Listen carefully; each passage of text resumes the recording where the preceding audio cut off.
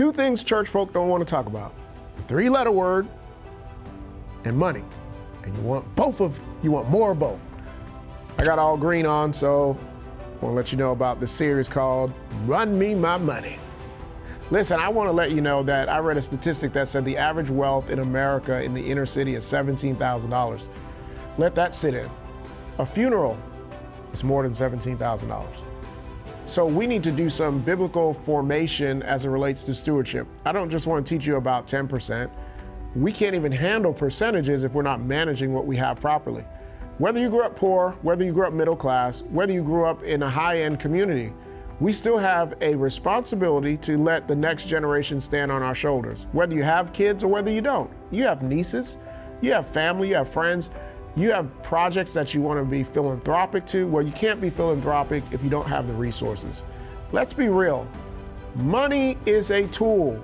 And when you have money, you can do more, and money gives you access to more opportunity. Listen, church, we have a responsibility to be good stewards of God's money, but you gotta learn how to use money. And there are biblical principles that have been being used throughout many years. I believe many of you say you don't believe in slavery, but you do. You do believe in slavery. How dare you say I believe in slavery?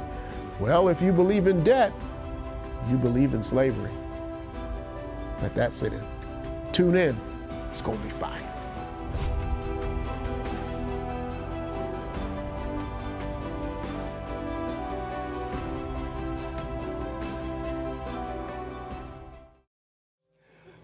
Talk to you today about I think it's prophetic, I think it's important, I think it's it's it's a game changer if you get this message. Um, my job as a community leader is number one to teach you things that matter. So remember this whatever I'm preaching about, you're going to be tested in. So we talked about relationships. How many of you were tested in your relationships? Right? Because Satan will come to steal that word that you, that, that you heard. So you, you have to learn that whatever you're hearing, you're going to be challenged by. And so, th- so I, I, need to get out of that relationship series, praise the Lord. Um, so we, we, we, because you have, you start seeing all friendships and different things. So Satan's trying to challenge you by the word that you teach. Um, so I want to, I want to um, deal with this idea uh, of money. The sermon title is called "Run Me My Money." Now, how did I get this title? I don't know if that's a bad saying. If it is, email Nate at tkci.org.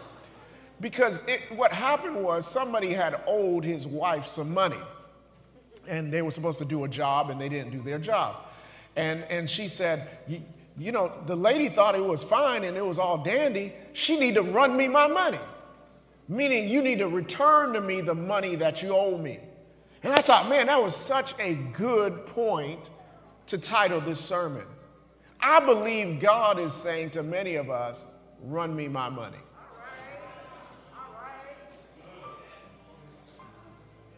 Before you log off and say, oh, let me go to another church because he's about to hit me for the tithe, I want you to hear the entire message because it's going to make us all grow and be better.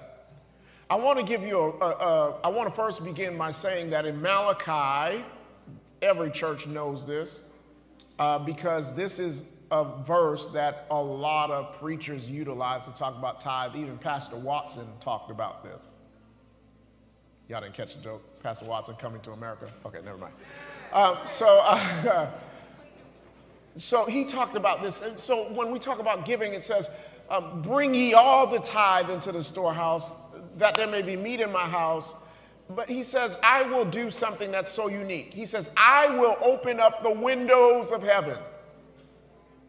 Now, I believe the church has missed this word windows because we think that the windows mean something unique. In my understanding of it. I don't believe God is cursing people who don't tithe because I know a lot of people who don't tithe and who are still prospering. But there's a difference between having good success and success. And so I want all of us to have good success. Now, I promise you, before this sermon is over, I'm going to offend you. But you can't, truth is offensive sometimes it, it offends me. You know, we, we're going to offend each other because it's, it's going to make us better, though. Because a lot of our faith isn't growing because we're hoping God does a miracle for us because we don't know how to manage money. We're praying, God, send me money, and God's saying, Why would I send you more when you can't manage what I've already given you? The why is that, Pastor? You don't need to be teaching on this, you need to be teaching on something else. Yes, I do. The average urban family has $17,000 as their net worth. Seven, a funeral isn't $17,000. So how you going to get buried if all you have is $17,000? So you going to make us do a GoFundMe for you? We already got to grieve you're dead. Then we got to grieve you ain't had no money to take care of yourself. We can't pawn your Louis Vuittons. We can't pawn your red bottoms. We can't pawn your belt. So we need to be good stewards because most of us have had a million dollars flow through our hands if we've worked since 18 and we're 30. So let's help each other. I don't care if you're a baller, you could be more generous. I don't care if you're dead broke. By the time this series is over, you're going to be like, child, run me my money. I ain't got time for that. Because true success, I know we some of us grew up poor and we think true success is being able to go to the car lot and they give us a car that we dreamed of and then we go online and say, "The Lord bless me with a new car." But here's the reality. If you owe payments on it, it ain't yours. You are leasing a blessing. So I want to help us. I'm not helping you, I'm helping us. I want to give you Luke chapter number 5, which is a verse that you and I need to read. Luke 5, verse number 2. This is Jesus fishing with his disciples. And Sorry, can Kenisa, I might be at that. Uh, yeah, NIV. So Luke chapter 5, verse 2, it says, He saw at the water's edge two boats left there by fishermen who were washing their nets. Ooh, that's so good there, boy. Ooh. Number three, he got into one of the boats, the one belonging to Simon, and asked him to put out a little further into the shore. And then he sat down and started teaching the people from the boat. When he had finished speaking, he said to Simon, Put out into the water, into the deep water, and let down the nets for a catch. Simon answered, Master, we worked all night and we worked hard and we caught nothing. But because you say so, I will let down my nets. When they had done so, they caught such a large number of fish that their nets began to break. So they signaled for partners to come help them carry and fill boats so full that the boats began to sink. When Simon Peter saw this, he fell at Jesus' knee and said, Go away from me, Lord, I am a sinful man. For he, for he said to his companions, for he and all his companions were astonished at the catch of the fish they had taken, and so were James, John, sons of Zebedee, and from that day they followed him. My God from heaven. This is an important part that we must realize that we must have structure for surplus. I, I want to prophetically say this. I don't believe it's everybody, but I believe it's some of you that God is going to let you walk through a season of surplus. But you need to learn how to structure for surplus. Now, we, we are known in church to tell you what to do with 10%. 10% belongs to who?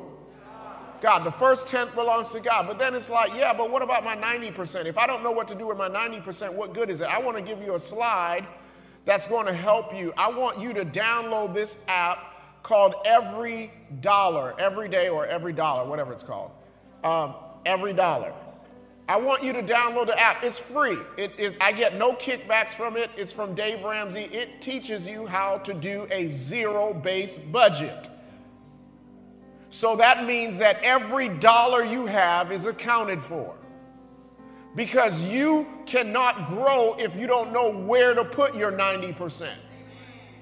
How much of my 90%, most of us, all we think about is I can afford my car, I can afford my home rent, I'm good. That doesn't mean you're good because you can afford those things. Let me give you the breakdown of percentages on how Dave Ramsey, who's an internationally known financial guru, teaches us how to manage our 90%, our 100%. 10% is the first line item that he made, which says you give. Even businesses know 10% we need to give away because you get more when you give more.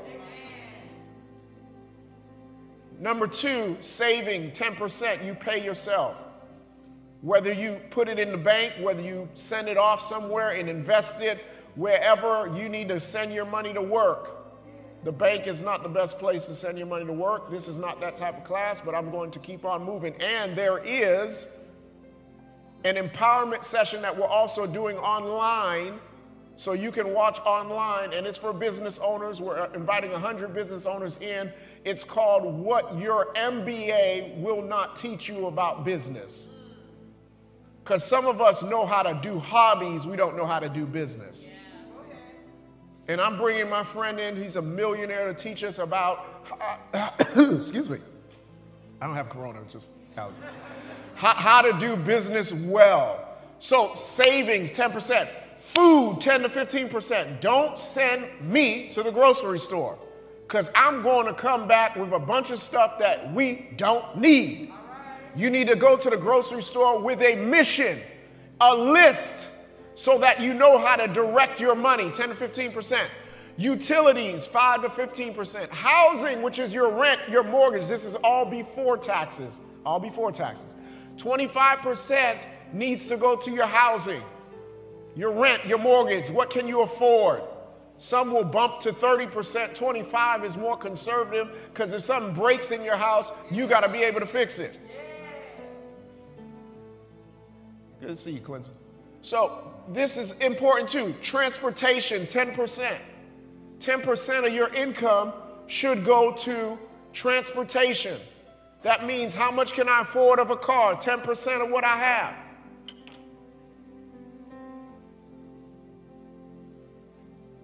Healthcare, five health, five to ten percent. Going to the gym. Here, here it is for all you uh, team no sleep never go to the gym, never work out. You cannot work from a hospital bed. So you need to take care of your health. You need to walk. You need to exercise. You need to do all these things because some of us are leaving the earth early because we're not stewarding our, our bodies well. Insurance, 10 to 25%, 5 to 10%, that's Amazon. For some of you, recreation, that's recreation is Amazon. Click and it comes to the door. Um, recreation, 5 to 10%. Personal spending, whatever that is. For ladies, it's getting your nails done if that's you. I'm not stereotyping you because some ladies are like, I don't do my nails. I'm not that type of woman. It's doing your hair. If you don't do your hair, that's fine. I'm not stereotyping you. I'm just giving you examples. 10%, 5 to 10% personal spending, then 5 to 10% miscellaneous. If you use this budget, you'll start getting out of debt. Don't ask God for a miracle because you won't budget well. Now, here we go into this text. That's how you deal with the 90%. I want to help you get the app every day or every dollar. It's, it's, it's free. Download it, start planning your budget. So at the end of the year, you can have surplus and you won't wait on a stimulus check.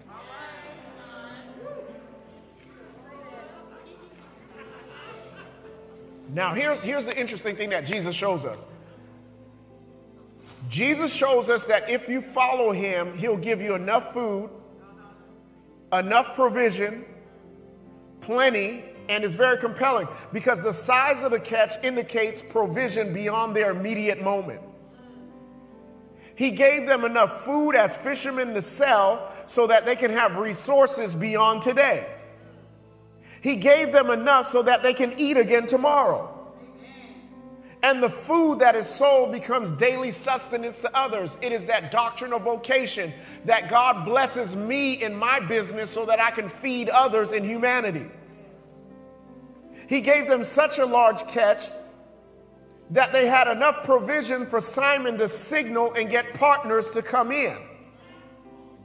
But what I found that was so interesting was that Simon knew Jesus before, but he didn't follow him fully until this moment. He says, Nah, I'm going to follow you full time.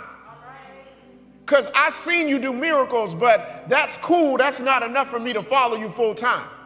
But I've seen you bless my business in such a way now that I can trust that I now need to follow you full time which is a practical point. Don't lose your real job chasing something that doesn't have excess provision yet. Even Simon was like, Jesus, you got to show me a little more.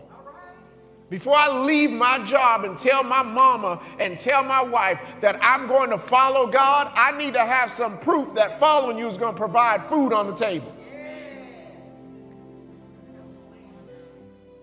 So here's what God tells him. God says, "Hey y'all, I want I want you to I want you to do something that you've never done.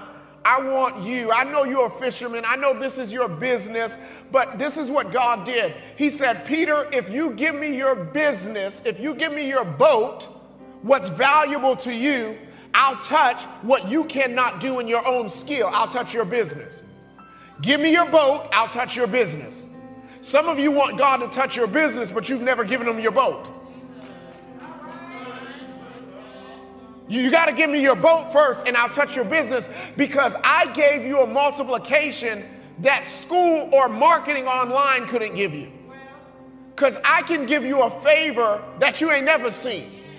I can bless you in a way that you've never seen blessed before. But first, I got to know that whatever I give to you, I can get through you. Because if I can't get it through you, I don't have an invested interest in getting it to you. Now, this all works together that God's going to open up the windows of heaven. God does not throw cars out of heaven, He does not throw homes out of heaven. He doesn't throw men out of heaven. If you don't go outside and show yourself, you won't be found. You felt that, didn't you? God needs you and I to take advantage of His way of increase. God's way of increase is by giving you and I opportunity. And you and I got to have the faith to know if God told me to do it, that's what I follow. Because it's all contingent upon our relationship with God. That God spoke to me and he had a friend of mine, he spoke to him and said, You need to open up a pizza business in the middle of a pandemic. Now, when God speaks, you don't need other people's validation. That's what causes you to hear from God well. The greatest gift God's going to give you and I is our ability to hear. Don't go out and buy something because everybody else is doing it. You need to hear what God is saying so that when I go out there, there'll be provision for the vision. I don't care what you say. You hear me well with the ghetto voice. If God gave you a vision, He will give you the provision. He will send birds to feed you, He will send animals to take care of whatever God gives you. His will, His bill. His will, His bill. So it's critically important for you and I to understand that God's way of giving me increase is by giving me opportunity. Now, I need you to be spiritual because what's going to happen is you're going to leave here and you're going to get an opportunity and you're going to think it's God. That's where discernment comes in. My greatest struggle as a leader now is being able to discern what God wants me to do and what is my own ego? Just because you can do it doesn't mean you should do it. And you got to learn how to turn down high profile people Because it's like, yeah, that sounds good, but God ain't giving me the go on it. I know this would be a great Instagram moment for me to take a picture with you and talk about how we're doing business together, but God hasn't given me the release to do that. And most of us are so enamored with people that we ignore giving God our boat because we're so busy giving it to the person we're trying to chase.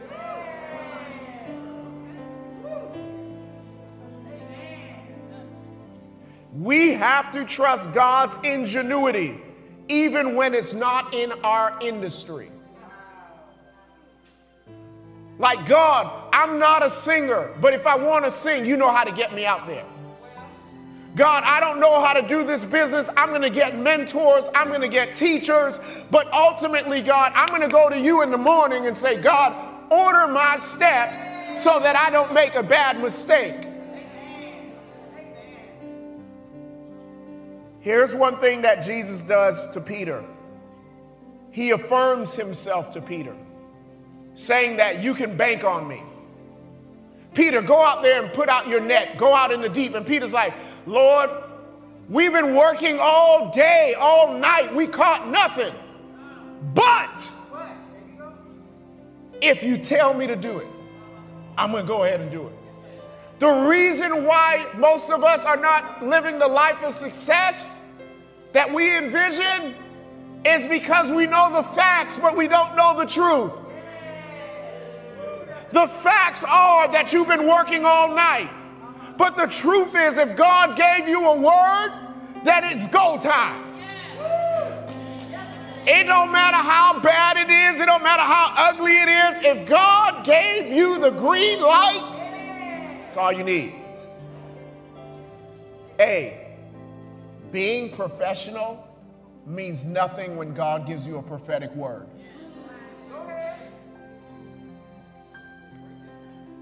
When God says to do something, it don't matter how professional you are. It don't matter how educated you are. It doesn't matter how smart you are. If God gives you a word to do something, you need to do it now, not tomorrow. If God tells you to do something, you don't need to have a backup plan. Because a backup plan is a lack of faith. When God said, buy this building, I said, I'm going to buy it. If we go under, we go under. I ain't got no backup plan. If you said it, then it's your job to provide for it. God will confirm his word. If you're open, God will confirm. And some of you got big dreams. You got God speaking to you about what you need to let your net down in the deep end, but you're not willing to make the sacrifice for the surplus. So here we go. This is so great. His nets begin to break. His boats begin to be so full that they begin to sink. But here's the part that I want to focus on is that when he has all of these things happening, he falls at his feet and says, You know, I'm an unworthy man.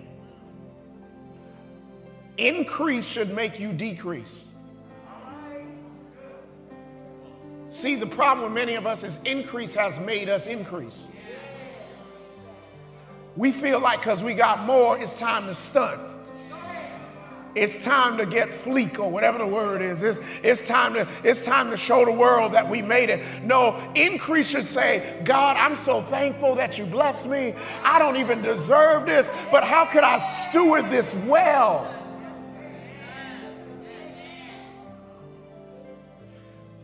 You need to start learning how to structure yourself for surplus.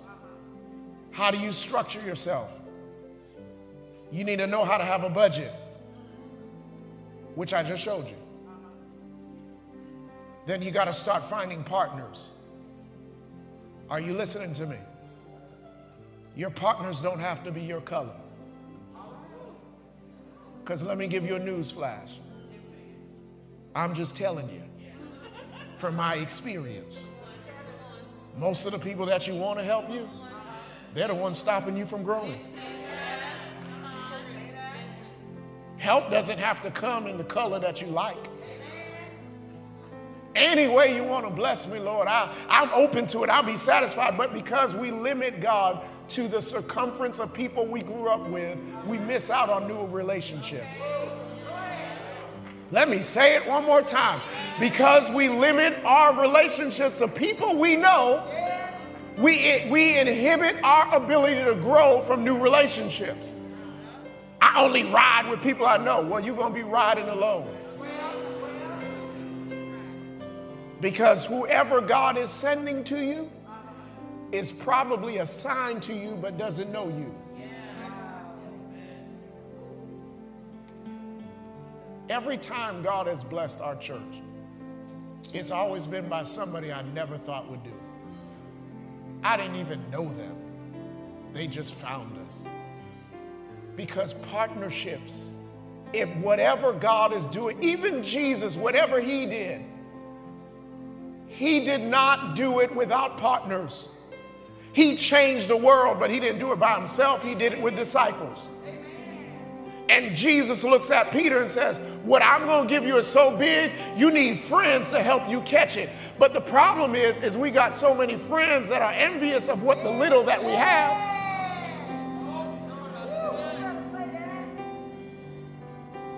I need partners I need partners who are not going to say that's too much that you've got.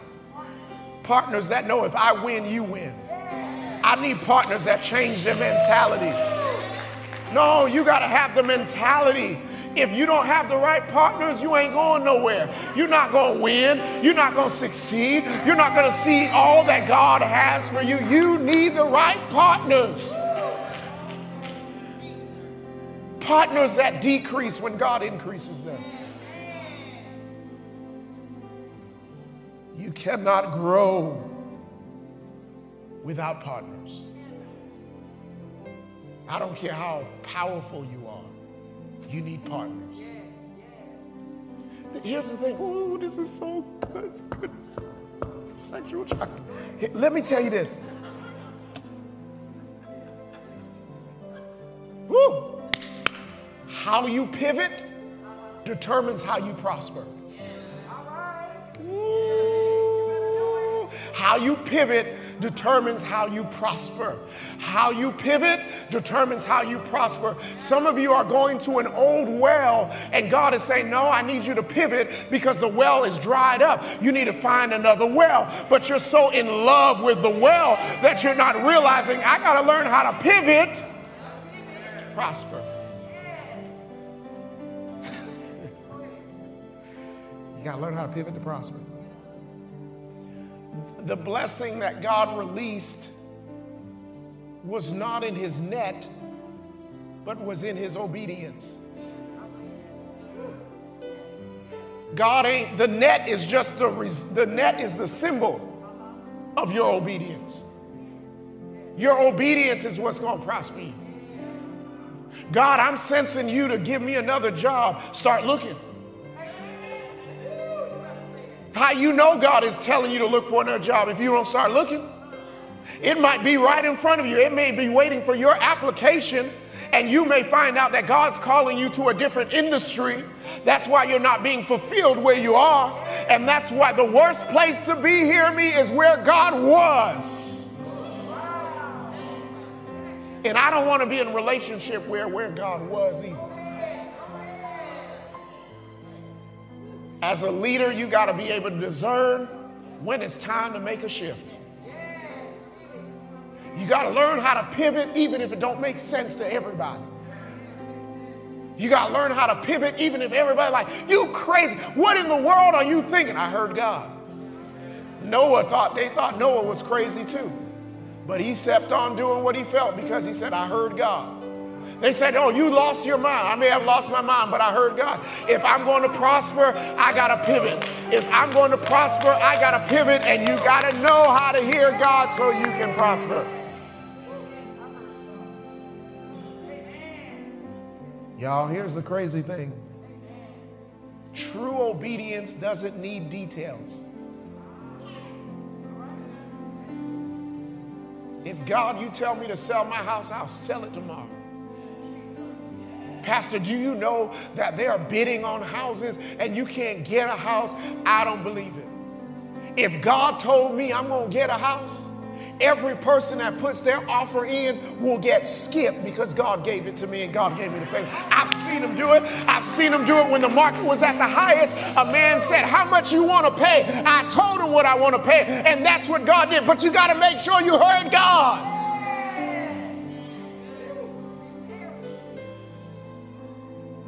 Wow, here's something that I thought was so powerful. They were willing to leave everything that was prosperous off of one promise from God come follow me. Are you so in love with your stuff that you can't let it go if God tells you to let it go? You know why you in debt? Is because you know you were supposed to give up that idol that you've been driving, but it's a God to you. It makes you feel like you got some sense of self-worth. It makes you feel like you somebody. That idol that you got that's got you going to the store, standing in lines, trying to get the latest and greatest so that you can wear it on Instagram and show it off. That's an idol, and that's why we can't grow. Y'all will stand in a long line for Gucci. And Gucci will never come to your community and put a park in there. I ain't mad at Gucci. I, am fine. If you Gucci, I'm Gucci. I'm just simply saying you need to invest in things that invest in you at some point.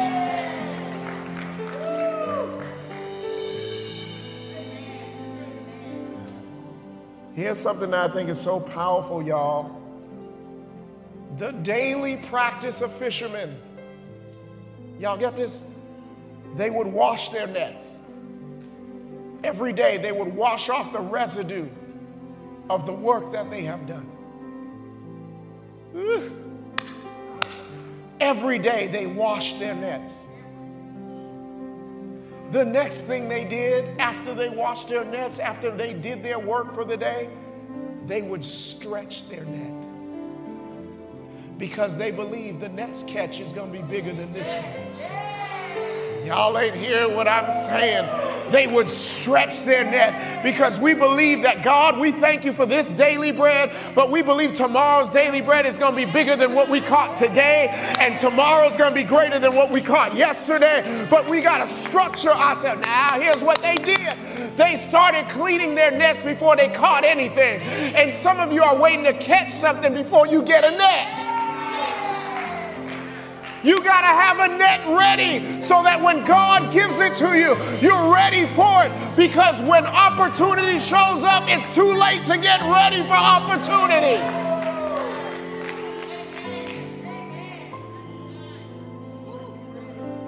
So you got to be ready. Your credit got to be ready. What's your credit score? I don't know. You ain't ready. How much money you got in the bank? You don't know. You ain't ready how much savings you got. If you don't know, you ain't ready. Stop asking God for provision and start being a steward of what God has already given you because you got to structure yourself for success.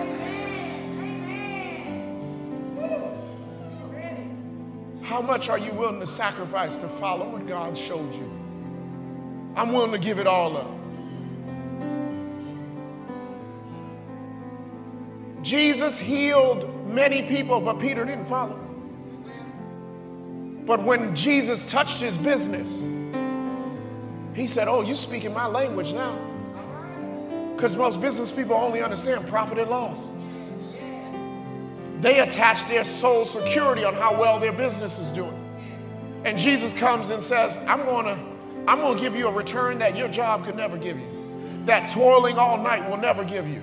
I want to know can you believe me even if you failed before? If I tell you to do it again, will you do it? And if you don't believe me because you failed, then failure is your God, then I am your God. But you got to know that sometimes I will use failure to push you into success. I will use failure to teach you how to grow beyond where you ever went. My question to you is how much do you have for God to give you more? I want to live out on the water. Why? You got to answer your why first. What's your why? Because I, I just I just went, on, that ain't good enough. Because if it ain't going to flow through you, it's not going to flow to you. Here's the reason, y'all, they would stretch their net. Because I believe that what God's going to give me is bigger than what I received before. You know why you can't believe that? Because you got a scarcity mindset. Some of you don't even have enough savings in your account. That's fine. But how you going to come out of it? How you going to structure yourself for surplus? You just can't pray it comes in. God's going to send you more. If he sends you a stimulus, what you going to do with it? You need to stimulate your own economy before you stimulate another economy. You need to pay some debts off so that you can get some victories. You need to cancel out some bills that you had. Don't go take your stimulus money and go buy some shoes that all you're going to get is a bunch of lights on pages. You need to take that money and buy it and invest it into something that will bring you a return later on. We make short term sacrifices for long term dividends. I teach my children, my wife and I, my wife more than I teach our kids. The tenth belongs to the Lord. And I teach my children, that's the part I teach my children. You leave your clothes on the bathroom floor, you owe me $2. I want to teach you responsibility. Because responsibility don't mean nothing to you unless it costs you something. It's got to cost you something. It's got to cost you something. Son, you left your clothes on the floor. It's $2. I'm going to take your $2 and I'm going to go out and eat some ice cream on your money. Because that's what happens when people don't have discipline. You end up paying people interest and they take your money and go vacation with it because you don't have discipline. How you going to come out of debt? You got a 30 year death sentence called a mortgage. Why'd you ain't get a 20 year? You send in one extra payment a month, you could have cut that bad boy, one extra payment a year, you could have cut that bad boy down by five, six years. Can you imagine if you had no mortgage? Can, can, think about it. Can you imagine what you would do? No, no, I want you to get so, so salivated. You watching out. Could you imagine what you could do if you had no mortgage, no rent payment? It's the first coming up, and you ain't even got to worry about making a payment. You can if you structure yourself for success. I'm gonna work hard and I'm gonna get out of debt. I'm going to use debt to help me get to where I want to get to. That's too advanced, but I'm going to get out of debt. I'm not going to stay in debt. I'm not going to let debt be a slave master to me. I'm not going to let debt kill me. I'm not going to let debt enslave me. I'm not going to let the desires of getting an American dream cause me to keep buying more and buying more and buying more and buying more and realize that the dream that I wanted is now a nightmare. Because you never stop chasing the carrot. You never get off the wheel. And you who are successful, you who are making money, oh, thank God that you're making money. You're in the prime of your life and you're making money and you're doing it big and you're winning. Just make sure your winning doesn't become your God. Because some of you, you want to be a rapper, but you never could. So you adapted, you let winning. See, this is the thing you got to be careful of. When you grew up poor, winning is a drug. Come on, hear what I'm saying. When you grew up poor, winning is a drug. It never satisfies you. You get to one level and then you realize there's somebody else on a higher level. And now I got to step my game up because I got to get to the next level. Not recognizing that every new level you go to, you're always going to start on the bottom. Let that sink in. I don't care how great you are. Whenever you get to another level, you're always at the bottom of that room. You got to structure yourself for success. You got to go home and say, babe, we got to figure out how much debt we got. Pastor, I ain't got no time. Let me check. If you have an Apple phone, there's a wonderful thing called screen time. That lets you know how much free time you really say you have that you don't have. Android people, I know you looking really crazy right now. Y'all don't, y'all don't have none of that because Android just wants y'all just be sitting there like, like you don't know what's going on. But if, if, if you have screen time and tell, maybe you need to go out and get a second job. I know you just cursed at me, Pastor. Yes, you. Maybe you need to get a second job, pay the car off. Now you ain't got no car, no. Now you got 10%. Now you can throw it into investing and throw it into your future.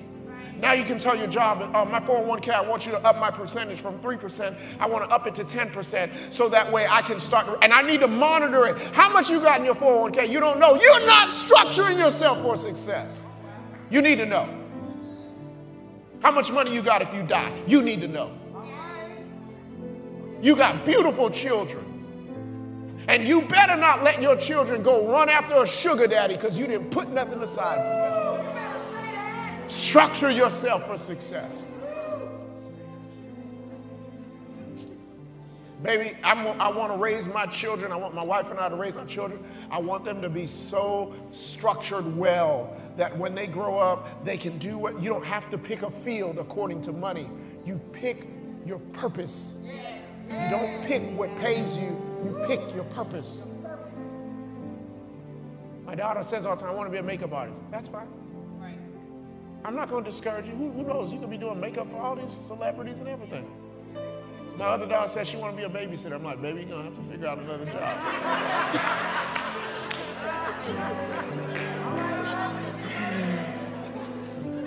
She want to be a babysitter. All she want to do is hold babies. All she want to do is hold babies. Listen, let me tell you, she loves her baby so much. She gets it from her wife because I don't have that trait. But she loves babies so much that that that one day she said, um, so my, my, my, brother-in-law was bringing his his little his little son over at grandma's, and, and I told her, hey, um, um, Samuel's at, at, at grandpa's, and she said, Samuel's at grandpa's.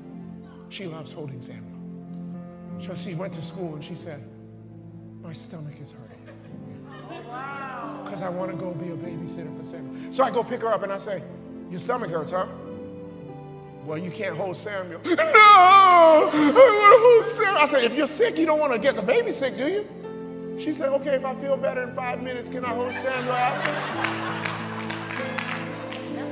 But that's when you're purposed at that. When even at a young age, when your mind is set on something, you don't let roadblocks stop you. You figure out how to get around the roadblocks. You figure out how to get over all the objections and you overcome the objections so that you can grow and be great.